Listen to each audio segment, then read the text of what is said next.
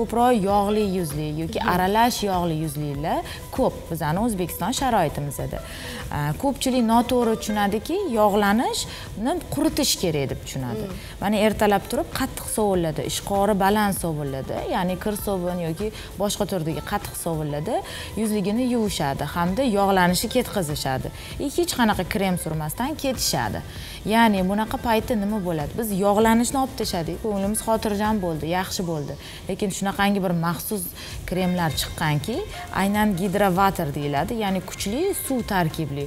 Ularda kremga o'xshab qanaqadir yuzda e, noqulay bo'lgan vaziyatda krem aylanmaydi. Shunda yuz shimib oladi ya'ni biza e, yog'liklik bilan e, suv ajrata olmaydigan bo'lib qolganmiz. Shuning uchun biz yog'lilik bo'lgan yuzlarni yuvib tashlaymiz lekin namlikni bermaymiz. Shuning uchun o'zi po'ralari ya'ni e, yuzimizdagi e, har bitta po'ralarimizni biz yog'sizlantirganimiz sari ularni namlantirishimiz kerak. Namlantirmaganimiz uchun sekin astalik bilan nima sursak achish holatini keltirib chiqaradi. Yokida kupiroz kasali ya'ni yuzda qizarish holatlarini mayda qon tomir kapillyarlarni yuza qismiga chiqib qolish holatlari holatlarini keltirib chiqaradi. Shuning uchun yog'li yoki yog'li aralash terili insonlarga tavsiya qilardimki e, sovunlab yuvgandan so'ng albatta suv tarkibli namlantiruvchi kremlardan surish ya'ni oz miqdorda bo'lsa ham mhm. surishni tavsiya qilgan bo'lardim. Shunda ularni ham terisi judayam yaxshi holatda ya'ni aytishadiyu koreyskiy qilib bering deb kelishadi silliqqina tekisgina. Tekisgina. Shunaqa bo'ladi shunaqa holatlarda ko'pchilik xo'jalik sovundan foydalanishadi shu qanchalik to'g'ri noto'g'ri to'g'ri. noto'g'ri bu narsa chunki ishqori juda baland bo'ladi. O'zi kir sovunga ham foiz yozilgan bo'ladi qaralgan bo'lsa. Ya'ni ishqoriy muhit juda yam kuchli nisbatda quritib yuboradi terini. Quritib qizartirib yuboradi qurishi terini qurishi bu juda yam bir e, teri uchun zararli.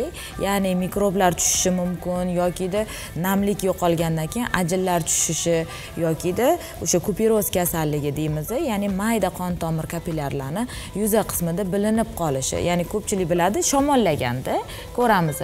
Burun atroflari mayda mayda bo'lib qizarib qoladi kapillyarlarimiz yig'laganda qoladi ha. Ya'ni bunaqa paytda biza bilishimiz kerakki qon tomirlarimiz zo'riqayotganini nima uchunki e, shu ko'z aytayotganingizdek ko'z yoshida ham bizada nimadan asos tarkib topgan? Tuzdan tarkib topgan ya'ni sho'r bo'ladi to'g'rimi? O'shaning uchun ko'pincha stress holatida keladigan ayollarimiz tinmay yig'laydigan ayollarimizni ko'z atrofi yomon bo'lib ketgan bo'ladi. Chunki tinmay yig'lashadi ham e, salfetka yoki dastro'molda tinmay artishgani uchun ham teri qiriladi ya'ni shilinish holati. Uni ustiga e, bizani ko'z yoshimiz tushgandan keyin yanayam qarish holati ya'ni quruqlashib ketish holatini kuzatish mumkin. Ya'ni e, bu narsaga konsultatsiya payti albatta mutaxassis tushuntirib beradi bemorga. Yaxshi kayfiyatda dasturimiz davom etyapti. Mutaxassisimiz e, mehmon sifatida joy egallaganlar kosmetolog e, sojida muhiddinova va ular tomon e, yurtdoshlarimizdan bir biridan qiziqarli o'zlari uchun kerakli bo'lgan savollar yetib kelyapti. Masalan mustafo telegram egasi yuborganlar. Salom. Ko'z yuz quyoshdan qoraygandan so'ng nima qilsa oqaradi. Javob uchun oldindan rahmat deganlar. Ya'ni quyoshda. Judayam yaxshi judayam yaxshi savol bo'libdi hozirgi kunda aynan quyoshdan himoyalovchi e, spf kremlari haqida internetda juda ham ko'p ma'lumotlar bor. Lekin qorangandan keyin nima qilish kerak degan savolga javob yo'q. Ya'ni juda yam oz bu savolga javob. Aslida terimizni qoraya boshlaganda e, kosmetologlarga murojaat bo'lganda ko'pchilik oqartiradigan muolajalarni aytishadi. Oqartiradigan muolajalarni o'z vaqti bor. Ya'ni bahor va yoz oylarida e, asosan kun davomidagi paytda oqartiradigan muolajalarni birontasini qilib bo'lmaydi. Ya'ni bunda vitamin c tarkibli bizadagi preparatlar teskari ishlashi ya'ni qoraytirish holati ham kuzatilishi mumkin.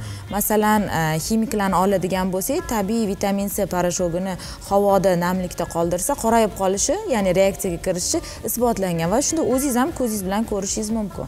Shuning uchun aynan e, kechki payt ya'ni kosmetologlarimiz kechqurun suring desa prям yotishdan oldin surishadi. Yo'q unaqa emas. Aynan shomdan keyin surilishi tavsiya qilinadi. Ya'ni quyosh botgandan keyin oqartiruvchi maxsus kremlarni hamda oqartiruvchi maxsus maskalarimiz bor haftada ikki marta qilinadigan shunaqa maska turlarini qilishligisi mumkin. Hamda shu bilan birgalikda quyoshdan himoyalovchi kremni ham baravariga surib borishlari kerak. Lekin terapevtik jihatdan kuz qish oylarida muolajalar qilinadi uy sharoitida bo'lsa mana tabiiy narsalardan so'radingiz mandan reklama payti tabiiy narsalardan albatta e, foydalanish kerak. Lekin donli mahsulotlar ayniqsa oqartiradi. Ya'ni biz aytishimiz mumkin mana gerkules e, bizadagi donlarimiz bor to'g'rimi? sut bilan qo'shib sut bilan qo'shib ha o'shani ivitib qo'yilgan holatda qilinadigan niqoblarimiz bor. Yokida guruch orqali mana ko'pchiligimiz osh yaxshi ko'ramiz to'g'rimi? Guruchni yuvamiz keyin solamiz to'g'rimi? O'sha yuvilgandagi birinchi suvini olib qo'yilsa cho'kma hosil bo'ladi. Ana o'sha guruchdan tushgan cho'kmani bizni suvini ortiqcha suvini to'kib tashlab ana o'sha cho'kmani ham yuz terimizga surishimiz mana bahor oylarida bug'doy yordamida qilinadigan sumalak mavsumida qilinadigan bug'doyli maskalarimizni yuz terisini oqartiradi. Sababi tarkibida молочный kislota kam miqdorda bo'lganligi uchun.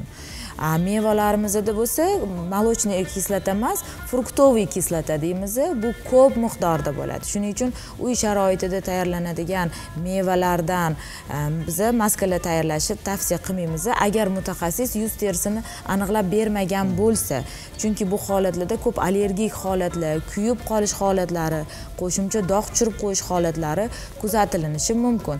Ya'ni internetda hozir ko'pchilik bu maska bu maska deb reklama qilyapti. Ya'ni Э, tabiiy narsa ko'rsatsam odamlar qiziqadi deb o'ylaydi. Lekin u tabiiy narsani tarkibidagi e, kislotali sharoit qanchalik teriga ta'sir qiladi? Epidermis qavatidagi e, holatga qanchalik ta'sir qiladi? Yoki epiderma qavatini pastki qismida joylangan melanotitlarimiz bor ya'ni yuzimizga dog' berib yuboradigan melanin pigmentlarimiz bor. Mana shu pigmentlarga ta'siri qanaqa bo'ladi? Bu haqida ma'lumot yo'q. Shuning uchun biz tabiiy niqoblar tayyorlab o'zligini terisligisiga ishlatishmoqchi bo'lsa ya'ni oqarish bo'ladimi yoki muammoli husnbuzarlik holat bo'ladimi yoki ajinli holat bo'ladimi albatta oldin yuz terimizni e, yaxshi bitta mutaxassisda turini aniqlab va qanaqa turdagi tabiiy mahsulotlar uni yuziga tushishi mumkinligini so'rab olishligisini birinchi bo'lib tavsiya qilgan bo'lardim dastur zo'r zo'r e, olib borilyapti. Tug'ruqdan keyin dog'lar haqida va uni parvarishi haqida aytib o'tsangiz javob uchun oldindan rahmat judayam yaxshi savol bu ham. Tug'ruqqa o'zi aslida tayyorlanish kerak. Bunaqa paytda onalarimiz ko'pincha ikkinchi farzandda buni tushunib yetishadi. Birinchi farzandda bu narsa tushunishmaydi. Shuning uchun biz aytamizki tug'ruqqa tayyorlanish davri onalarimizni qizlarimizdan uzatayotganimizda albatta barcha organligisiga e'tibor berishligisini yeb ichayotgan ovqatligisiga e'tiborli bo'lishligisini biza ota onalar farzandlarimizga qattiq turib berishimiz kerak. Ana o'shanda e, birinchi tug'ruq davrida E, gormonlar sistemasida muammo bo'lmaydi. Mana buni orqasidan teriga dog' tushmaydi. Ya'ni agarda bizada dog' bo'ladigan bo'lsa dan so'ng. Ya'ni bu homiladorlik davrida boshlanadi. Aslida bunda gormonal holatni buzilishi bo'ladi. Hozir bular borib hech qaysi doktorda e, terapiya ololmaydilar chunki tug'ruqdan so'ng deyaptilar shuning uchun hech qanaqa qo'shimcha dori turi foydalana olmaydilar shuning uchun biz tavsiya qilamizki faqat oqartiradigan e, kechqurun suriladigan krem yokida maska yokida serumlarni tavsiya qilamiz. Qachonki sutdan bolani chiqarganlaridan so'nggina terapevtik muolajaga o'tiladi.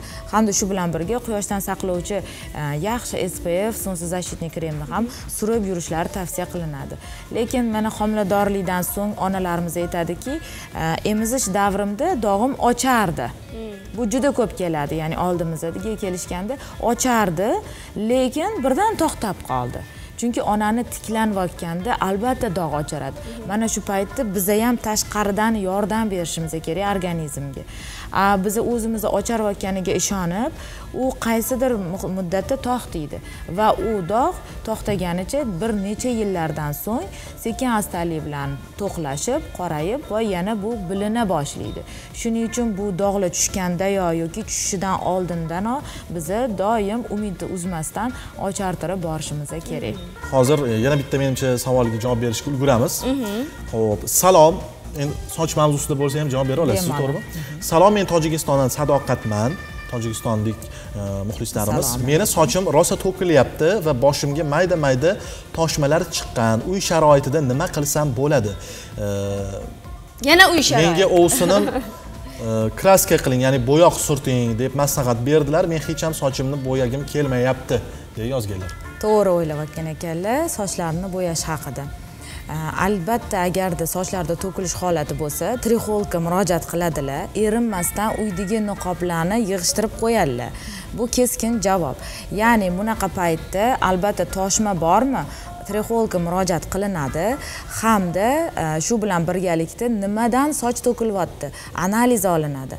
Analiz natijasida e, qanaqa bir organizmda kamchilik bo'lsa shunga qarab oldin ichki muammo hal qilinadi va so'ngra e, biz aytishimiz mumkin aynan mezoterapiya turlarini keyin biz o'zimiz ishimizni tavsiya qilishimiz mumkin.